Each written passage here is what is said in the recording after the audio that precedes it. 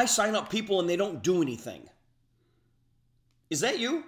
right? Have you ever said that? Or have you had people in your organization say that? I sign up people and they don't do anything.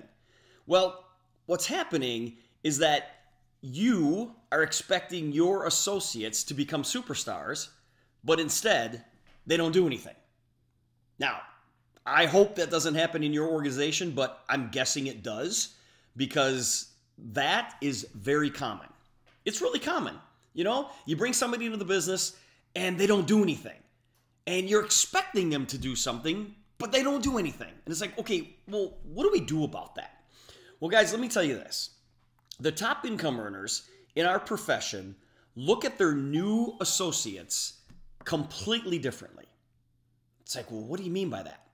People who struggle, people who struggle in this business, they sign up a new person and then they wait. Right? They bring somebody in the business and then they wait. And they wait for that person to go out there and become like uber successful. See, top income earners view their new associates as a doorway to other people, not as a destination. And guys, that is the main difference here. A lot of people who struggle in this business, they think that their job is done when they bring a new associate in. They're like, yes, I brought Lisa into the business. Yep, she's going to be a superstar. And then they wait for Lisa to become a superstar. They think Lisa coming into the to the business is the destination. And you know, really successful people, they look at Lisa as the doorway, not the destination. In other words, they're not expecting their new distributors, their new associates to do amazing things. They're not putting all their hopes and dreams into that one person.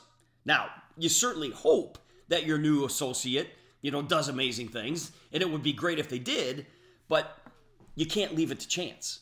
You can't leave it to chance. That's not the destination. Guys, what really successful people do is they view that new person that they just brought into the business as a doorway. They look at it as a doorway to other prospects. Okay, just bringing somebody into the business is not the destination. Look at that person as a doorway. Okay, now here's what I mean by that. Let's say, for example, that I sign you up. Okay, I personally enroll you into the business. Well, guys, my job is obviously to motivate you, but mostly I want you to introduce me to your world. You are a doorway for me to connect to your prospects. And and listen, I can actually be more effective with your friends because I'm the third party. Okay? You guys know that that's true? I mean, we all have really close personal friends that, you know, you guys are going to do things for each other, but you've got friends that kind of look at you and go, "What what do you know about making money?" What do you know about neurotechnology? What do you know about starting your own business? But all of a sudden, you bring a third party in. I can be more effective with those people than you can because you're too close to them. I come in as a third party and validate everything that you're saying, and that gives you even more credibility. So here's what I'm going to do I bring you into the business, and I'm going to ask you, who can you introduce me to today? Who can we go set up a meeting with today? Who can we go talk to today? Hey, let's go make a list and let's figure out, you know, who we can go talk to like today. A lot of people say this, you guys. They get really, really frustrated because they're like, oh, I don't have anybody to talk to. I, I've run out of prospects. Well, if you're frustrated, it's because you've run out of prospects. All you have to do is sponsor one person into the business. Just, just bring one person into the business, and all of a sudden you've got hundreds of prospects to talk to okay? Because that person is a doorway to their world. And they're going to introduce you to a few, and all of a sudden, those people become a doorway. And they introduce you to a few, and those people become doorways who become doorways who become doorways. Guys, your job is to treat that, that new associate as a doorway. And what you do is you keep digging and opening up new doorways. Okay, what top people do is they keep digging further down in their line until they find that that that rock star, that superstar.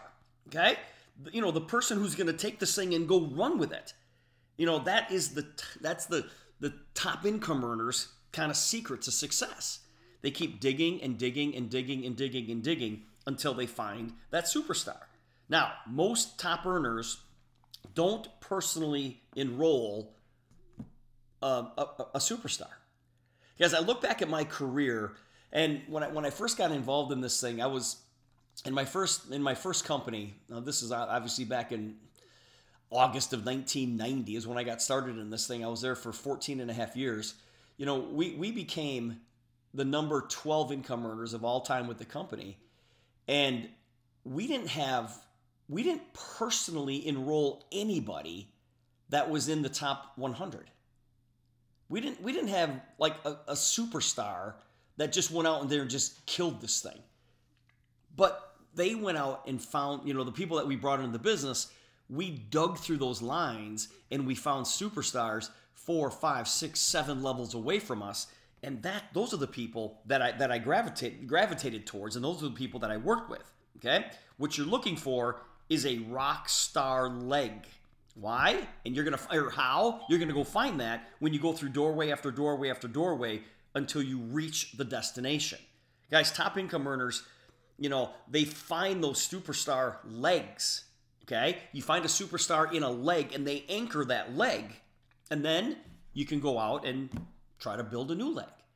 But guys, it might not be your personally enrolled associate you have to work through them and then work through those people, then work through those people, then work through those people until you find somebody in that leg that becomes, you know, the, the rock star. And that, then all of a sudden you sit back and go, okay, that leg is set. That, that leg is now anchored with this person. So don't just bring somebody in the business and hope that they become the superstar. You hope that they open up their world to you and they introduce you to people that you can go get this technology on and they go introduce you to a few people and then you want those people to introduce you to a few people and so on and so on and so on and guys i just it's not uncommon you know for you to work 7 8 9 10 12 15 20 levels deep in your organization. And some of you are like steve i don't have 20 people in my organization. I, I i know but just wait just wait. When your organization starts to take off to a point where you can't even control it anymore, yeah, you'll be you'll be 15, 20, 30 levels deep.